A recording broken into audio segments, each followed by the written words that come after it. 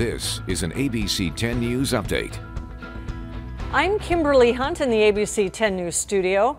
The Sweetwater Union High School District is laying out its latest plan for the new school year. Thursday night, they said they intend to do distance learning until October 2nd.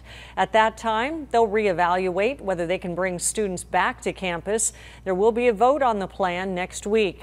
Thursday marked the first full day of the virtual version of Comic Con.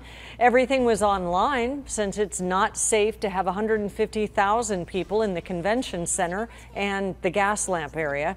Comic Con offered free video panels featuring major stars such as the Star Trek icon Sir Patrick Stewart.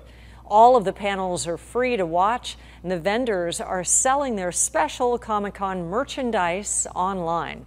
Four months late, the Major League Baseball season is officially underway. The Padres open the season Friday night at Petco Park.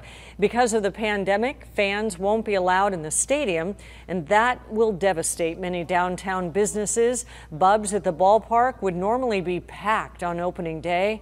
The owner tells us they're not even going to open this weekend because it would be a loss.